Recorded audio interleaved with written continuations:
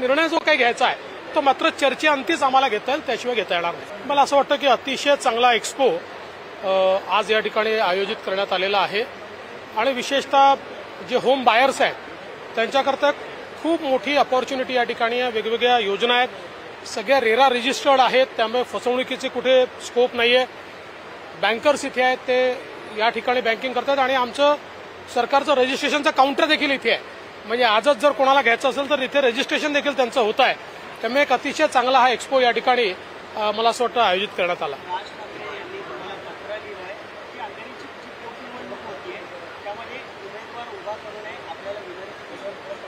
की असं आहे की आज आशिष शेलार आमचे मुंबईचे अध्यक्ष यांनी राज ठाकरेंची सकाळी भेट घेतली आणि त्यांना ही विनंती केली होती की अंधेरीच्या निवडणुकीमध्ये त्यांनी भारतीय जनता पक्षाच्या उमेदवाराचं समर्थन करावं. त्यावेळेस त्यांनी त्यांच्या भावना व्यक्त केल्या आणि आता मला पत्र देखील त्यांनी लिहिलेलं आहे. आणि त्यांनी अशी विनंती देखील केलेली आहे की त्या ठिकाणी आम्ही उमेदवार उभा करू नये किंवा तो परत घ्यावा. मी याच्यावर एवढंच सांगू शकेन की शेवटी भारतीय जनता पार्टीमध्ये मी काही एकटा निर्णय करू शकत नाही.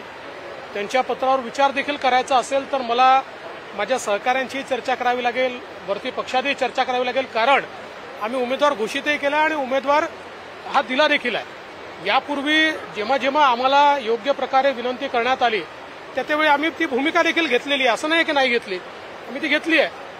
आर आर पाटील साहेबांच्या वेळी घेतली होती. आता रिसेंटली आम्ही विधान परिषदेच्या दोन निवडणुकांमध्ये घेतली आहे. पण आता या स्टेजला जर काही भूमिका त्या संदर्भातली असेल तर ती मला घेता येत नाही.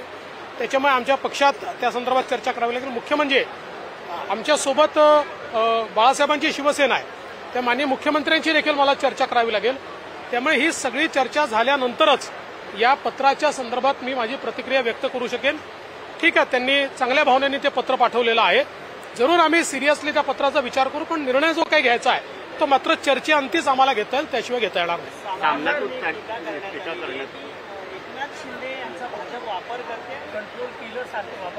हे असं आहे.